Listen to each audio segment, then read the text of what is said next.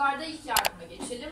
Ee, şok geçiren bir hastaya neler yapmamız gerekiyor? Nasıl bir ilk yardım uygulamasında bulunmamız gerekiyor? Hastayı bulduk. Öncelikle sıkı giysilerini gevşetiyoruz. Hava yolu açıklığını sağlıyoruz. Açık tutuyoruz. Şok pozisyonu veriyoruz. Bakın burada gördüğünüz pozisyon. Ayağın altına herhangi bir battaniye ya da farklı bir şey koyabilirsiniz. Amaç 30 santim kaldırmaktır hastanın e, ayaklarını. Kanama varsa kontrol altına almamız gerekiyor. Birinci yerinde ise psikolojik destek veriyoruz. Bunu dersin başından beri ne diye söylüyoruz? Hastaya sakin olması gerektiğini yaptığınız işlemi iyi olacağını ona e, bildirin ki hasta kendini daha iyi hissetsin ve iyi, iyi olmaya çaba göstersin. Vücudunu sıcak tutuyoruz. Ağızdan bir şey vermiyoruz. Tıbbi yardım sağlanıncaya kadar 2-3 dakikada bir yaşamsal fonksiyonlarını e, değerlendiriyoruz. Bizim halkımızda şöyle bir şey var. Baktınız ki e, ileri konularda da göstereceğim. Havale geçiriyor kişi. Hemen ellerini açmaya çalışıyoruz. Hemen soğuk suyun altında tutmaya çalışıyoruz. Ağzını açmaya çalışıyoruz dişlerini kenetlemesin diye. Ya da bayılan birini gördük. Hafif kendine geliyor. Hemen ağzına şeker vermeye çalışıyoruz. İş kan şekeri işte kendine gelsin diye. Bunlar her olayda yapılmaz. Çok yanlıştır. Şok, şoka giren bir insana siz ağzından bir şeyler verirseniz solunum yolunu dahi tıkayabilirsiniz. O yüzden bilgiyi bilmek çok önemlidir ve nerede kullanılacağını bilmek çok kıymetlidir. Bu sebepten dolayı tıbbi yardım sağlanıncaya kadar dedik 2-3 dakikada bir yaşamsal fonksiyonlarını değerlendiriyoruz ve tıbbi yardım 112'den yardım istiyoruz. Bakın burada ayrıntılı bir şekilde şok pozisyonunu göreceğiz. E, neyle kaldırdığınızın hiçbir önemi yok. Çünkü siz ilk yardımcısınız. İlk yardımcısınız. Sizin ilacınız yok, tıbbi gereciniz yok. İşte o anda ortamda ne varsa onu değerlendirmek zorundasınız. Dışarıdaydınız, geçen birini gördünüz, şoka girdiğini fark ettiniz. O anda elinizde ne var? Çantanız mı var? Ya da yandan geçen bir bayanın daha çantası mı var? İki çantayı üst üste koyun. Amaç burada 30 santim ayaklarını kaldırmaktır. Önemli kural budur. Neyle, ne şekilde yaptığınızın hiçbir önemi yok. E, şok pozisyonu da yine hastanın üstünü örtmemiz gerekiyor. Sıcak tutmamız gerekiyor. Devam edelim vücuttaki baskı noktalarımızda. Vücutta atar damar kanamalarını durdurmak için belli başlı noktalarımız vardır. Baskı noktalarımız. Amaç atar damarlar parmakla kemik arasına sıkıştırılır. Siz atar damarı parmağınızla kemiğin arasına sıkıştırıyorsunuz ki kanamayı durdurmak için baskı noktası uyguluyorsunuz. Vücudumuzdaki baskı noktaları da şu an şemada görüyorsunuz bakın. Köprücük kemiğimizin hemen üzerinde bir baskı noktamız var. Uyluğumuzda bir baskı noktamız var. Yine kısığımızda bir baskı noktamız var. Kolumuzun hemen üst bölümünde bir baskı noktamız var. Koltuk altı ve boynumuzda bir baskı noktamız var. Buralara baskı uyguladığımız zaman kanamayı durdurabiliyoruz. Şimdi ise boğucu sargı dediğimiz yani turnike uygulamasına geçelim. Hangi durumlarda boğucu sargı ve turnike uygulayabilirim bunlara bakalım. Hangi durumlarda boğucu sargı uygulanır? Eğer ki ortamda çok fazla sayıda yaralı varsa ve siz tek ilk yardımcıysanız e, boğucu sargı uygulamanız gerekir. Yaralı güç koşullarda eğer ki bir yere taşınacaksa ya da yaralı çok ağırsa elinizde bir ekipman yok taşıyamıyorsunuz bu zaman darda boğucu sargı uygulayabilirsiniz. Uzun kopması varsa, kişinin bacağının koptuğunu gördünüz ya da kol kopukluğu, bilek kopukluğunu fark ettiniz. Uzun kopması varsa burada da boğucu sargı uygulayabilirsiniz. Eğer ki az önceki dediğim baskı noktalarına baskı yapmak yeterli gelmiyorsa, durduramıyorsanız bu durumlarda da boğucu sargı uygulanabilir. Boğucu sargı kanamanın durdurulamadığı alanlarda ve durumlarda tercih edilmelidir. Aksi durumda tercih edilmemelidir. E, çünkü siz o anda doku harabiyetine e, sebep olabilirsiniz ya da uzvun tamamen kaybına sebep olabilirsiniz. Bu önemli bir bilgidir. Bunları yapmamız gerekiyor. Şok çeşitleri. Şoktan yine devam edelim. Nedenlerine göre 4 tane şok çeşidimiz var. Kardiyojenik, e, hipovolemik, toksit ve anafilaktik şok dediğimiz. Kardiyo, kalp kökenli şoktur. Kardiyodan aklınıza gelebilir. Kardiyoloji, kardiyoloji hastanedekilerden aklınıza gelebilir. Kardiyo kalp demektir. kardiyojenik kalp kökenli bir şoktur. Hipovolemik şok ise damardaki sıvının azalmasıdır. Toksit yabancı madde, vücuda giren yabancı madde yine toksitlerden, e, vücuda, vücudumuzdaki toksitlerden de aklınıza gelebilir. Yabancı maddeye bağlı şok. Anafilaktik şok dediğimiz ise arı sokmaları, böcek sokmaları işte akrep sokmaları ya da penisilinden oluşan şoka da biz anafilaktik şok diyoruz. Dört çeşit. Kardiyojenik, hipovolemik, toksit ve anafilaktik şok. Peki şok her e, örneğin havaleyi işleyeceğiz. Ondan sonra komayı işleyeceğiz. Her şeyin bir nedeni olduğu gibi bir sonucu da olacaktır. Şokun nedenlerine bakalım. Kişi neden şok geçirir? Kalp krizi bir şok belirtisidir, nedenidir. Şiddetli kanamalar, aşırı sıvı kaybınız varsa, ishal ve kusma gibi aşırı sıvı kaybınız varsa, bunun dışında karın içi iltihaplanmalarınız varsa, aşırı korktuysanız, şiddetli ağrılarınız varsa bunlar kırıklardan dolayı da olabilir. Alerjinik reaksiyonlarınız varsa yani alerjiniz varsa, e, alkol ve kimyasaldan zehirlendiyseniz, kimyasal zehirlenmesi olur ya da çok fazla alkol tüketimi sonucu e, şoka girebilirsiniz. Ya da kar, karın içindeki organların yırtılması sonucu bir şok meydana gelebilir. Peki şok belirtileri nelerdir? Kan basıncında bir düşme hissedilir. Hızlı ve zayıf nabız alınır. Hızlı ve yüzeysel bir solunumu vardır kişinin. Ciltte solukluk, soğukluk ve nemlilik görürsünüz. Kişide endişe vardır, huzursuzluk vardır, yerinde işte e, çok fazla duramama vardır. Baş dönmesi seyreder bunu. Dudak çevresinde morarma vardır, soluk bir cilt teni vardır, dokusu vardır. Susuzluk hissi vardır, kişi susar. Bilinç seviyesinde de azalma vardır. Yani bilinç kalp, e, bilinçte e, belli bir azalma sonucu da şok belirtileri meydana gelir diyoruz. Bakın tekrar şok pozisyonunu göstermek istiyorum. Sınavda karşınıza çıkar. Aşağıdakilerden hangisi şok pozisyonudur der. Ya da yukarıya şok pozisyonunun şu e, resmi verir ve aşağıdakilerden hangisi budur der ve siz şok pozisyonunun bu olduğunu artık biliyorsunuz. Gelelim burun kanamalarına. İki şekilde e, inceledik bunu. Yapmamız gerekenler ve asla ve asla yapmamamız gerekenler diye. Burun kanamasında ilk yardımda neler var? Öncelikle hasta ya da yaralıyı sakinleştiriyoruz. Şimdi şöyle burun kanamalarında çok fazla bir kişide e, panik olmuyor. Hani günlük hepimizin başına gelebilecek şeyler olduğu için. Ama yine biz hastayı sakinleştiriyoruz. Endişelerini gideriyoruz. Hastayı oturtuyoruz. E, başını hafifçe öne eğiyoruz. Yani şu şekilde burun kanatlarını 5 dakika süreyle sıkıyoruz. Şu harekette. 5 dakika süreyle sıktıktan sonra e, yakalama kesilecektir. Devam ederse uzman bir doktora gitmesini söylüyoruz. Ya da sıklıkla bir burun kanaması varsa kişide uzman bir doktora görünmesi gerekiyor. Bir de bir burun kanamasında asla yapılmaması gerekenler vardır. Bunlara bakalım. Bakın resimde burnun içerisine bir tampon sokmaya çalışmış kişi. Bunu asla yapmamamız gerekiyor. Bez, mendil, gazlı bez ya da peçete herhangi bir şey asla sokulmaz. E, bunu hiçbir şekilde denemeyin. E, ilaç dahil hiçbir şey sürülmez burun içerisine ya da dökülmez ya da ne bileyim batikon dökmeye çalışmayın mesela içerideki işte temizlesin, e, dezenfekte etsin diye bunu asla yapmayın. Başınızı geri yaslamayın tam tersine öne yaslamamız gerekiyor.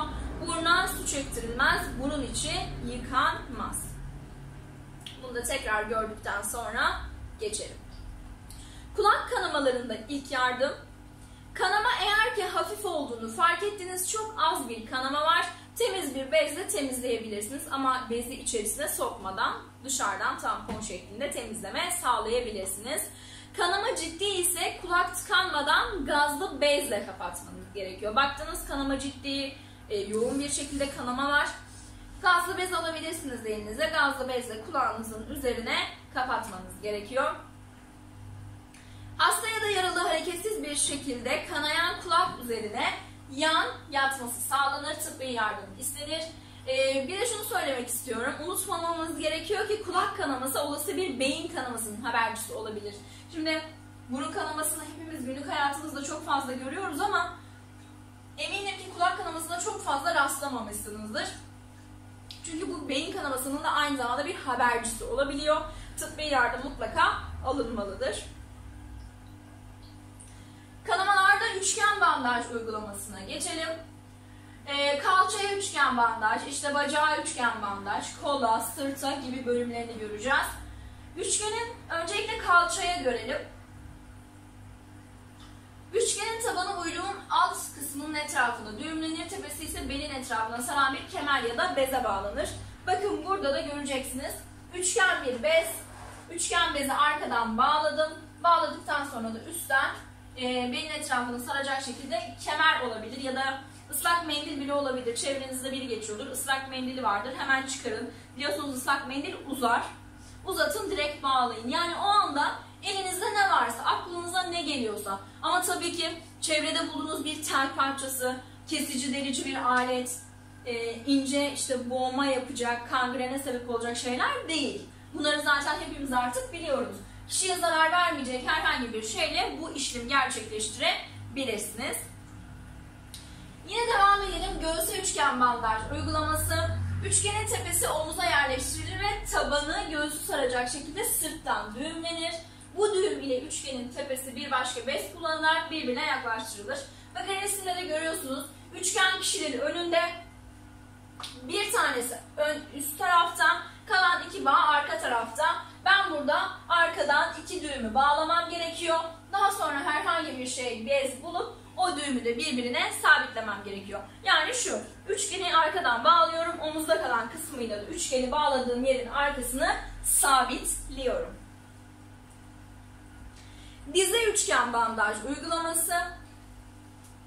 Bakın resimde de görüyorsunuz dizin 3-4 parmak altında ve ucu dizin üzerine gelecek şekilde yerleştiriyoruz. Dizin arkasında uçları çaprazlanır, dizin üstünde uçları bağlanır. Yine aynı şekilde bakın resme bakın. Dize getirdi, arkadan bağladı. Bağladıktan sonra arkada bağlanılan yeri öne getirdi ve önde düğüm yaptı. Bunu nasıl gösterebiliriz? Şu bizim üçgen bandajımız olsun. Bakın üçgen bir halde. Yapması gereken şu. Ben bunu arkada düğüm yapacağım. Düğüm yaptıktan sonra kalan kısmını öne getirip bağlayacağım. Şu işlemi yapıp sonlandıracağım yani. Elde üçgen bandaj. Bakın yine aynı şekilde. Şöyle göstereyim. Gereken hareket şu. Buraya, buraya ve buraya getirip bu işlemi üst bölümde bağlaması tabii çok büyük olduğu için şu an tek elimle yapamıyorum. Yani olması gereken işlem şudur. Ayakta hepimiz görmüşüzdür. Hemen hemen hepimizin ayağı burkulduğu zaman bir eczaneden aldığımız ürünle yapmış bakın burada. Yapmamız gereken işlem sarma işlemini yapıp en son e, ayak bileğinin bir tık üst kısmında bitirmeniz gerekiyor. Şimdi ise geçelim yaraya. Yara nedir? Yara nasıl tedavi edilir? Kaç çeşit yara vardır gibi. Yara fiziksel, kimyasal, radyasyon, patojen mikroorganizmalar, cerrahi nedenlere bağlı olarak ya da kendiliğinden gelişen doku bütünlüğünün bozulması durumuna yara denir. En kısa tanımı şu, doku bütünlüğünün bozulmasıdır. Bunu bu şekilde aklımızda tutabiliriz. Çünkü bizim sınavda karşımıza çıkacaktır. İşte yara nedir? Ondan sonra kanama nedir? Bunları kısa kısa aklınızda tutarsanız daha çok pratikte işinize yarayacaktır. Yara, doku, bütünlüğünün bozulmasıdır. Bu şekilde bilmem kafi.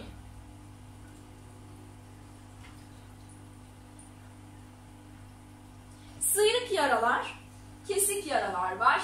Sıyrık yaralar derinin sürtünmesi sonucu oluşan yüzeysel yaralanmalardır. Sıyrık elinizi şuraya vurursunuz. Tamamen sıyrılır ya da şiddetli bir şekilde vurursunuz. Sıyrılma meydana gelir. Adı üzerinde bu bir sıyrık yaradır. Ağrı seyreder. Kapiller damardaki harabiyet sonucu sızıntı şeklinde kanama görülebilir. Yani sızıntı dediği kılcal damarlardan gelen e, sızıntı şeklinde ya da da bileyim e, daha sızarak kanama oluşabilir. Kesik yarası, bıçak, çakı, cisimlerden kaynaklanan yaralanmalardır. Yaralanmanın şiddetine göre yüzeysel ve derin olabilir. Deri altındaki damar ve sinirler kesildiği için ağrı ve kanama vardır. Yani bıçakla elinizi kesebilirsiniz, çakı olabilir, derici, e, özür diliyorum yine, e, yani kesici bir aletle kestiğiniz zamanki oluşan yaralara diyoruz. Yara ağızları birbirinden uzaklaşmıştır. Derinlikleri kolay belirlenir. Yani iki yaranın ağzı birbirinden uzaktır.